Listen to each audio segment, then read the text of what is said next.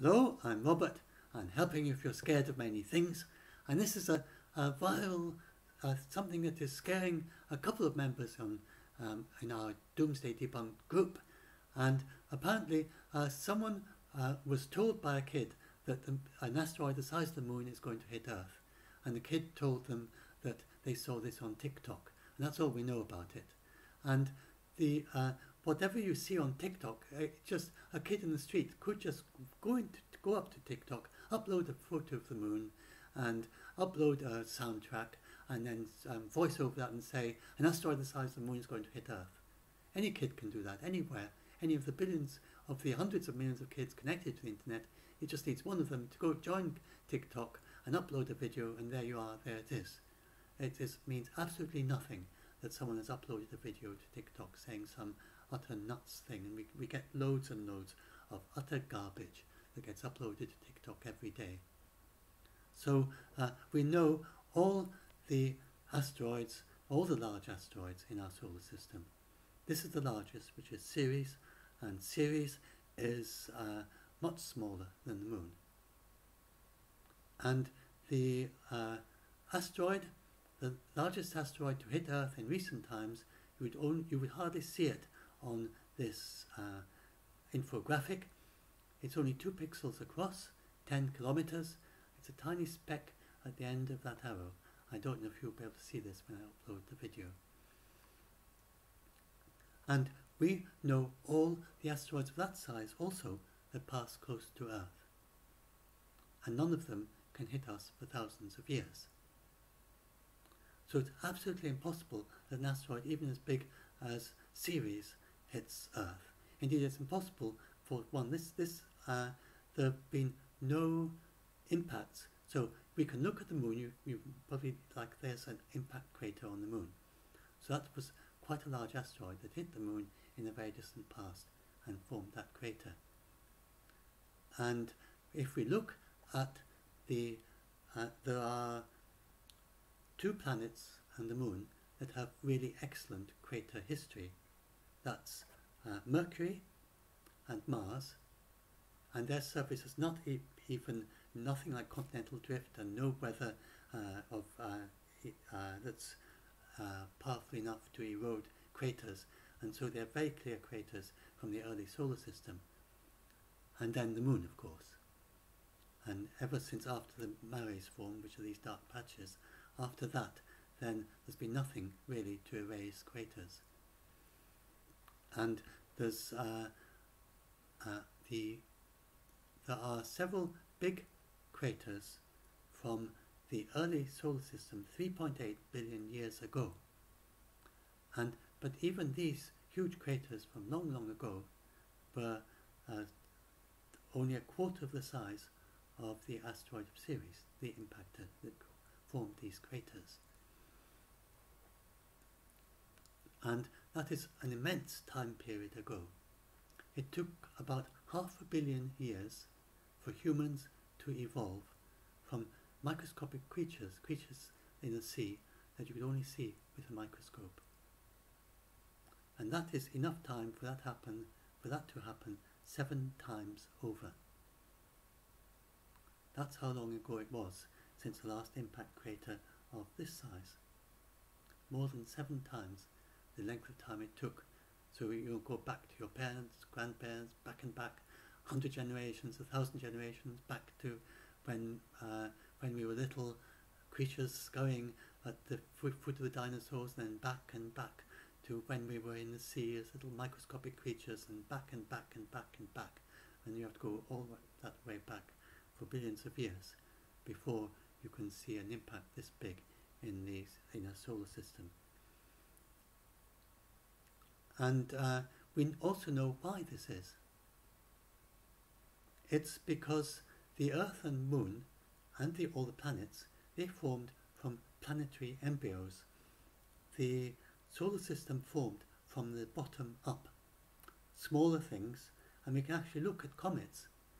And they, when you look at the comet 67P, they looked at and they saw these tiny um, uh, blobs that kind of stuck together. And they called them goosebumps some reason, and they, um, the kind of bumps that made up the surface. And these were the, very small things that combined together to make the comet. And then larger things combined to get bigger things and bigger things. It's now very clear that the planets formed not all in one go, but from the bottom up, from smaller objects, uh, which we call planetary embryos once they get large. And the larger planetary embryos, uh, which we call embryos because they eventually turned into planets, were the size of uh, larger planets and combined together were uh, size of Mercury, size of Mars, even the size of Venus. And uh, an ob object perhaps the size of Venus and one the size of Mars, they hit each other and formed the Earth and the Moon as a result of the collision. So all that happened in the first few hundred million years, over and over and over, and the, and the solar system was full of colliding things back then. And then there was what they call late heavy bombardment, and the tail end of it, it's late only compared to the early solar system, it was a very long time ago for us. So that was when the last few of these objects were cleared up from the solar system. And that's this 3.8 billion years ago, when the remaining larger objects eventually all hit planets eventually, because they weren't in stable orbits and they could last in those orbits for uh, tens, hundreds of millions of years, but eventually they hit something, even if they're in quite good circular orbits. And then the only ones left were the big asteroids left in the asteroid belt. That was the only place where you could stay in a stable orbit for billions of years if you were a planetary embryo. And so the only ones we have left now are Ceres and Vesta and, and the other larger asteroids in the asteroid belt. And these are very easy to see with a modern telescope. We could have seen them with naked eye. They're faintly visible, but uh, nobody noticed them amongst all the faint stars, and they were first discovered in the 19th century. The moon is far larger than them. If there'd been an asteroid as big as the moon, it would have been known long ago, it would have been known by the ancients, and they'd be following it, and uh, they just said, well, well, there's this faint, very faint star that we see at certain times of the year, and that, that would be an, an, asteroid the size of the moon. There, there isn't an asteroid the size of the moon, there can't be.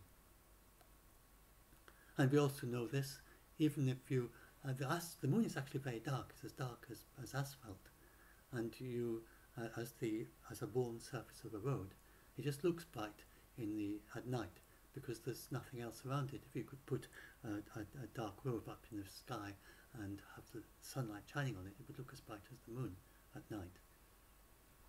So the moon, uh, as we saw when the uh, the moon surface is very dark, and yet it is very easy to see. And then we also know at night because there isn't anything else there shining. And so it'd be very easy to see a moon size, even very dark asteroid. No problem. And we would, uh, the ancients would have known about it. And long before telescopes. And uh, so, so there is no asteroid this big, it just can't be. We also know from the, uh, our spacecraft, and we can monitor how they move through space. And by monitoring the spacecraft when they get out to Saturn, which gives a very sensitive measurement, then we know for sure that the, the total of all the asteroids that we haven't, that we haven't uh, managed to find yet are far less in mass than Ceres. All that mass combined together has to be much less than the mass of Ceres. All the unknown matter inside of Saturn's orbit. So we have a pretty good understanding of the solar system. And the solar system is stable for billions of years into the future. Now, the uh, so so after all those embryos were swept up, then we were left with a very stable solar system. But it's not totally 100% stable for billions and billions and billions of years. So I just want to explain this little point, that uh, it, uh, it most likely is. So you, uh, it's like with the weather, that you can't you can predict summer and winter, you can predict climate change, global warming. You can't predict an individual rain shower uh, two weeks in the future. And there's no way we will ever be able to do that. It's called uh, sensitive dependence on initial conditions, and it's because even if you knew the position of everything to the nearest, uh, all every single, uh, all the wind, all the air in the atmosphere, the temperatures of all the oceans, and even if you knew it very, very exactly, you still couldn't predict because it can go different ways and it's just so sensitive to very, very tiny changes just now. That whole thing about a butterfly, it's not like a butterfly flapping its wings can't make a hurricane. It's not a, a connection like that from an individual but butterfly to a hurricane. But in order to predict a hurricane, uh, so, you know, some weeks in advance, you would need to know the positions of the wing flaps of all the butterflies in the world, and even that wouldn't be enough, along with everything else, against with all the water running into, you know, you, and you need to continue to know that all the way through into the future until the, until um, not far before the hurricane started to form. so that is, and even that wouldn't be enough if you go back far enough. So in that sense, the weather is just can't be predicted individual rain showers and even individual storms over a long time in the future, although we can predict things like warming and we can predict things like hurricanes, things like winter and summer um, in the far future. And so the solar system is like that too, but on a much longer time scale. The planets are in, we, we can predict that there's no problem with the planets for billions of years, the orbits we know their orbits very well for at least about 3 billion years. But we don't know the position of the planets in their orbits uh, longer than tens or hundreds of millions of years in the future. So they're orbiting around, but the various things that can slightly change the, and we don't know the how their orbits keep changing to be sort of more elongated and more circular, and they they um, they they kind of precess a bit and things like that. And these things we can't predict exactly. Uh, it's over about tens to hundreds of millions of years. We just it's just like predicting a rain shower, we, an individual rain shower or hurricane. We simply can't say where it will be, and we will never be able to predict that, no matter how exactly we measure the positions of all the planets in the solar system today. Nobody, even no matter how advanced our maths, we just don't have that level, and we just can never achieve that level of uh, measurement of precision to be able to know where the planets will all be in their orbits and what shapes exactly all their orbits will be, say, you know, half a billion years from now. We're never going to know that. So, uh, you, in order to look at the far future of the solar system for very, very long time scales, they just do lots and lots of different runs, just like they do with the weather. When they say there's a 5% chance of rain on um, Friday week, say, what they do is they run the weather, the model of the weather, many times. And if 5 out of 100 runs end up with a rain shower, then they say there's a 5% chance of rain. And that's all you can ever do, no matter how good our uh, weather forecasting got. So, uh, depending, of course, how sensitive your weather is, you know, if you're in a place which can have rain, and, and, and if the weather conditions are such that you could have rain at that point. So, in the same way, we uh, can't tell what position the planets will be uh, half a billion years from now in all their orbits, but we can do lots and lots of runs, and each one will end up half a billion years from now with the planets in different positions. And then we can say that you know, in one in a hundred we get this particular configuration, and so on. So if we run this forward, doing lots and lots of different runs, and we run it forward for three billion years, then just a tiny fraction of a percent, most of the runs, nothing happens. But in a very, very small number of runs, a tiny, tiny fraction of a percent, then uh, Mercury and Jupiter's orbits decay and change in such a way that they end up in a resonance. Jupiter is the heaviest planet, Mercury is the lightest planet and closest to the Sun and most easy for Jupiter to nudge. And three billion years from now, there's a possibility that Jupiter can nudge Mercury. It's almost certain it won't do that. But in this remote possibility, then Mercury's orbit um, gets nudged in the same way each time uh, over and over again, with them getting in the similar position relative to each other. And it gets longer and longer, it gets more and more stretched, until eventually Mercury's orbit crosses Venus's orbit. And then, once that happens, then elliptical orbits, Mercury's in an elliptical orbit, uh, Venus in a circular orbit, the elliptical orbit goes close to the Sun, then goes out past Venus, then closer again. And then uh, it could depend on the angles of the orbits, you know, where, where exactly Mercury is, where exactly Venus is. Then uh, it might be that it ends up with Mercury being deflected by Venus further out, or it might be that Mercury hits Venus. If Mercury hits Venus, then that's the end of it as far as we're concerned. If Mercury gets um, deflected further out, then it could hit Earth or it could miss Earth. And then if it hits us, then eventually, if it misses us, then over many uh, millions of years, eventually it could hit Mars. So there are quite a few different possibilities there. And uh, it's also possible, I think, that Mercury could be lost from the solar system altogether after many flybys of the planets. And uh, so, in some of those scenarios in the very, very far future, the solar system's orbits, they all get jumbled up and the planets end up going different ways and things. And, uh, and in other uh, of those far future things, then it is possible for Mercury to hit Earth. Though most of them, almost all of this doesn't happen. So that's very far future, it can't happen today. And in that immensely far future, it's so far future that remember I talked about evolving all the way from microscopic creatures in seawater to us. Well, that could happen six times over in the future. So we could have a civilization by then, which is, uh, it could be that the microscopic creatures in the seawater right now, that half a billion years from now, will become part of our civilization.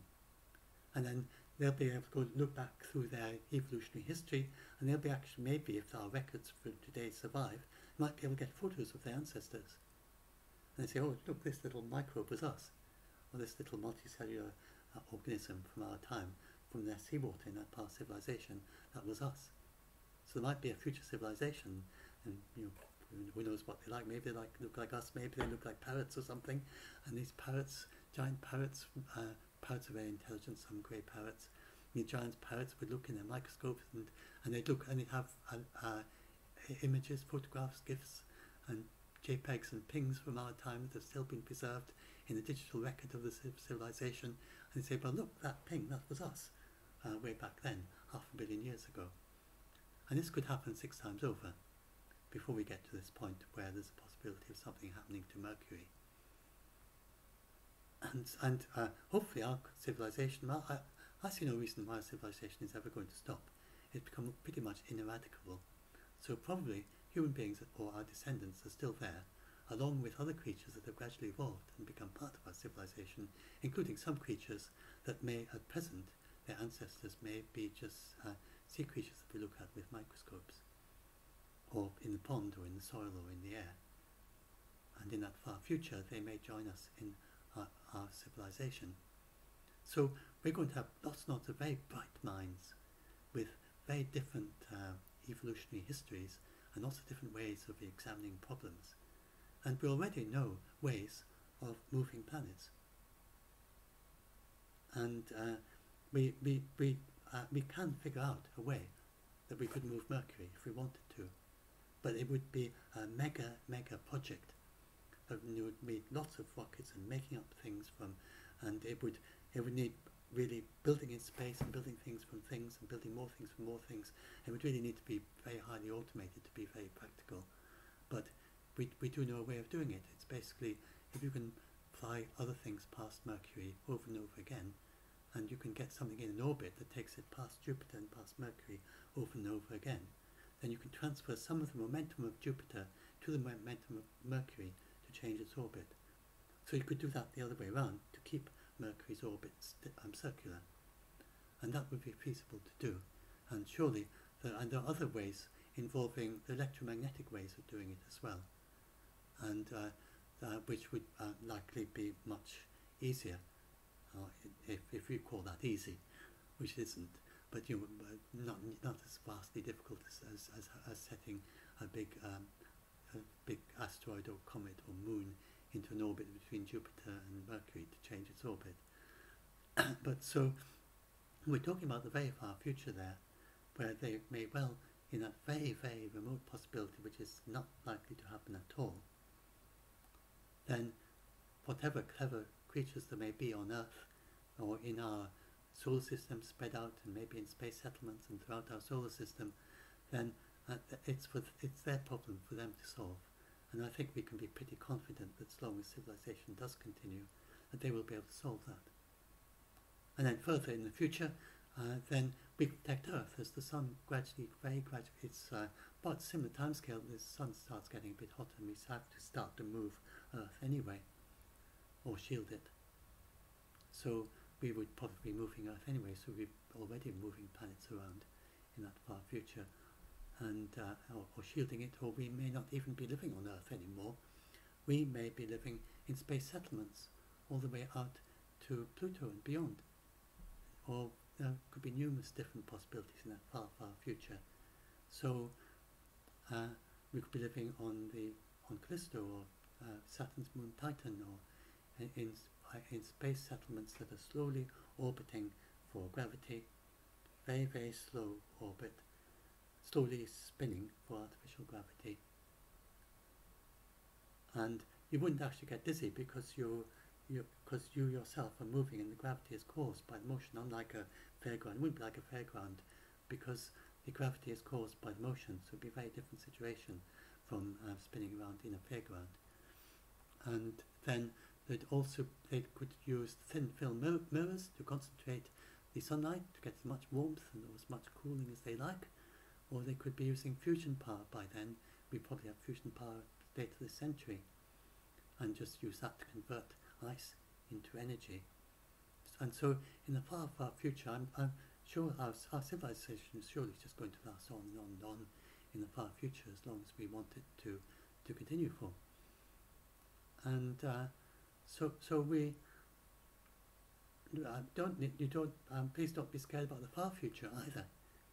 And so I hope, anyway, hopefully you now got a bit of context here and to understand there's, It's just some silly, silly child probably, or an adult who's, who's um, pranking someone, or joke, or, or someone who uh, knows absolutely nothing about astronomy and uh, is just using their imagination and probably gets their ideas from Star Trek or Star Wars or from Doctor Who or something and uh, has never even uh, looked for an asteroid in a telescope or or or, or, or uh, ne they've never looked. They probably never looked at their planet.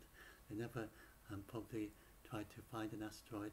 They prob probably never read read about them, and um, they neither neither observational astronomers nor uh, people who know anything about the theory of astronomy. If, if, if it was either of those, they just couldn't say something like this.